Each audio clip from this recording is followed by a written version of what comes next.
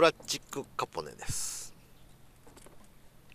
こいつの基本的な使い方が、えー、強烈なジャークとロングポーズともう一つの使い方がもう超スローリトリーブでもうあのプロペラが回るか回らないかのチリチリチリチリチリチリっていうのが、まあ、一番こうあの僕がよく使う基本的な多分使い方になると思います。強烈なジャークと、えー、ロングポーズの組み合わせ。こういう琵琶湖なんかでは呼ぶこうと水面でトップウォーターっていうことはもうこれだけ音の拡散というか呼べるんですよね。水面からそこに向けて。だからすごいあの魚を呼ぶっていうのにはあのトップウォーター優れてると思います。そこでポーズでこういう大きな音。でロングポーズです。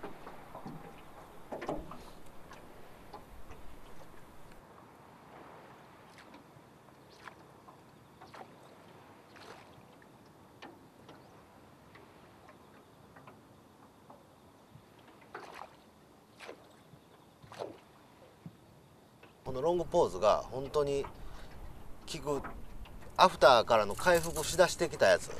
まだあんまり元気がないとかその縦ストにつくとかって言われてるような時期はなぜか知らないけどもあの経験上ほんまにはあのすごい長くロングポーズ。出るまで待てっていうぐらい。喋っててもほんまにボーっと下手したらタバコ1本吸い終わったぐらいにボーンと出るようなぐらいの極端な話をすればそれぐらい待っても大丈夫です。大丈夫というかそれぐらい待った方がいいと。思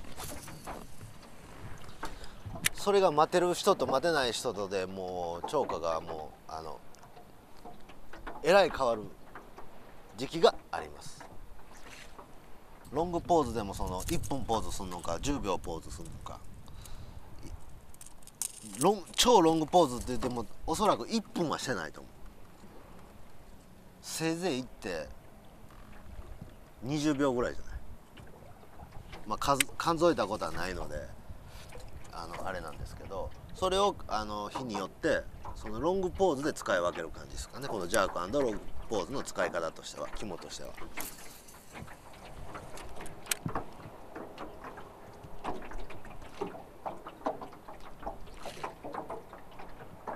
これは割とあの決まりはないです。1回2回3回してロングポーズ。ジャーク2回してロングポーズ。1回でロングポーズでもいいです。ジャークの差を煽るコツとしてはえっとね理想はね投げます。で投げてこうラインがこうナイロンの場合はこう結構沈んでいくので沈んでいったらこうルアーをサティップをルアーの先に向けて煽ってあげる。沈んでしまったラインをまっすぐ上に切るような感じで上げてやると結構軽い感軽いロッドアクションでこのジュボっていういい音が。で水面に飛び出しにくい。設計上このあの水上をよくして浮力の高さであるとかあのジャークした時に水面に極力飛び出ないような設計にはなってるんですけどもそこでなおかつそのジャークの仕方としてはティップを下げて煽ってあげる。でスラックが出たら巻いて煽ってあげる。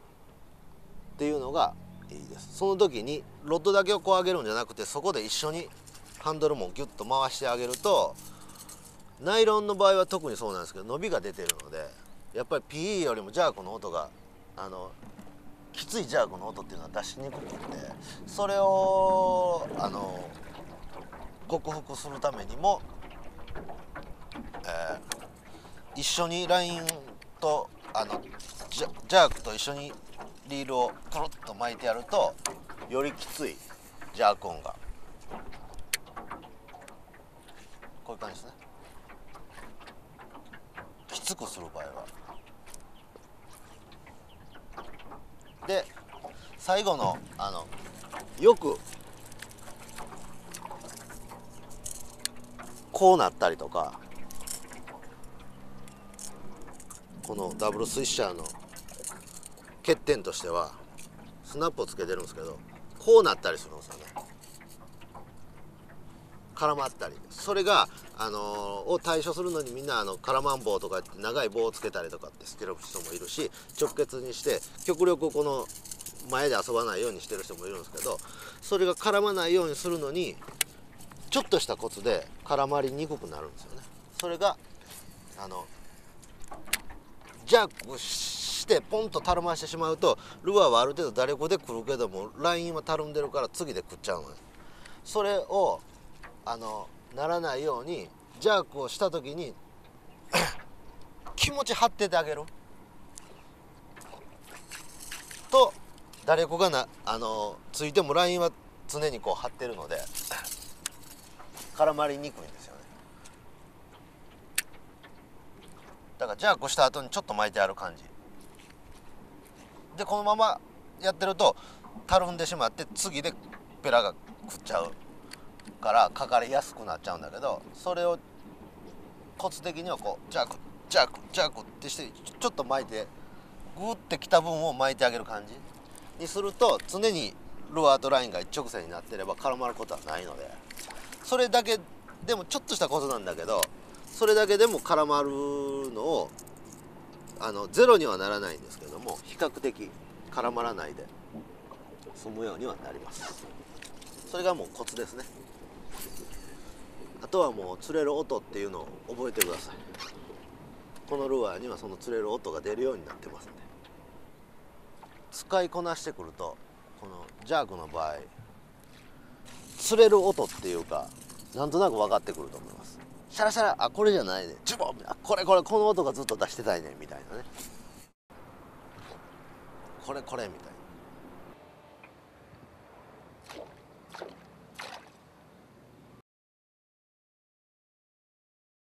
でもう一つの使い方が、まあ、チリチリ。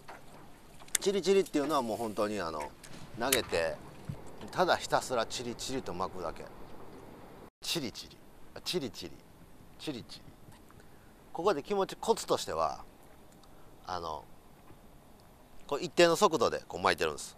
大体あのこんなぐらいのスピードでハンドル巻いてる。であのついついそのこうなんかこうこういうことをしてみたくなる。アクションを。でもそうじゃなくてこのチリチリの時はチリチリの時はあのやるとしたらコツ的にあのなんだろうなスラックをうまく作ってやって僕の場合はナイロンなんですけども、このたるんだラインをこうしゃくるような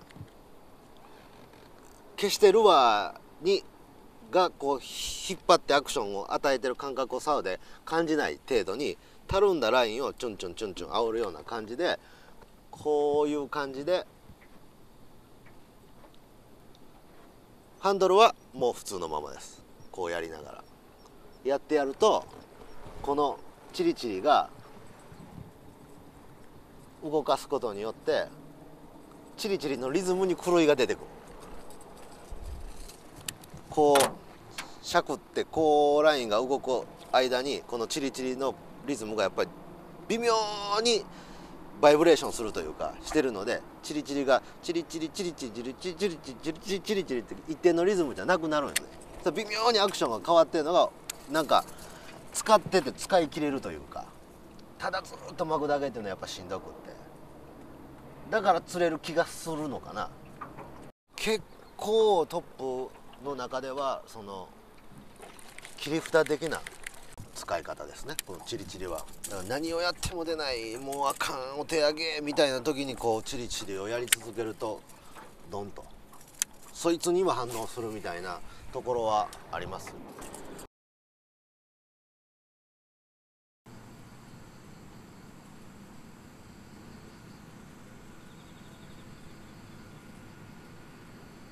こういう小場所は特にね。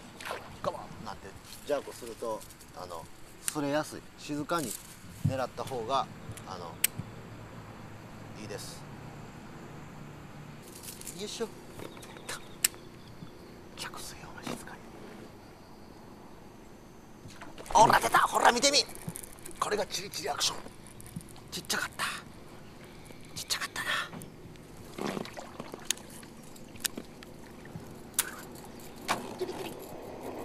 チリチリ。釣れるやろ？今回の6色の中こんなん釣れんの？みたいないやいったろ。釣れるで。タイガース。こっちの方が視認性がいいからねカメラさんもね。ほら出た！ほら出た！ほら出た！見た？見た見た？着水同時まだクラッチ切ってませんでした。もう一回いきます。おかわり出るかな？阪神タイガース行きよ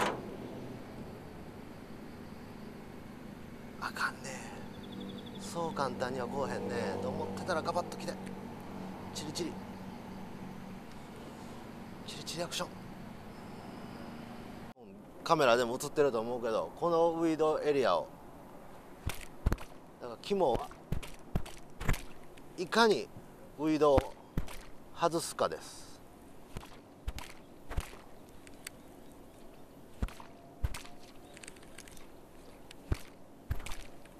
おるおんねんそこで待っとんねん、ね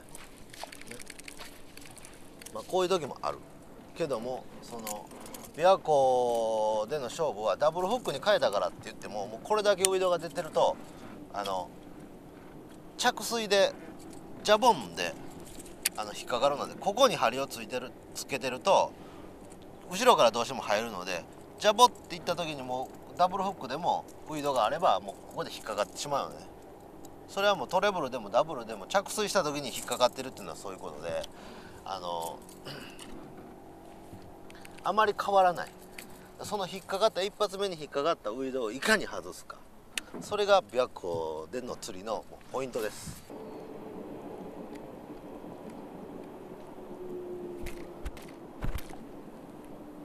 引っかかる時はダブルでも引っかかるほら見た？見た？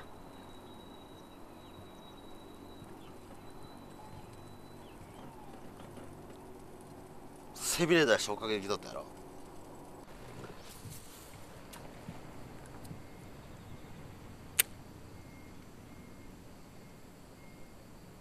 緊張感高まる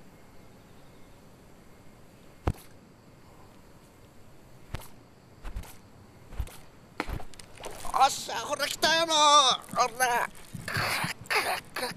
でかいぞ見たか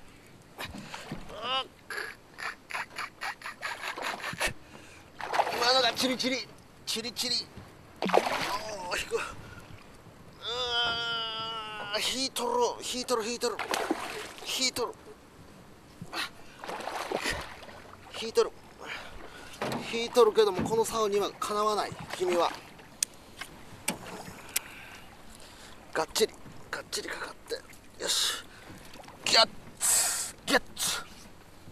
見た？見ました？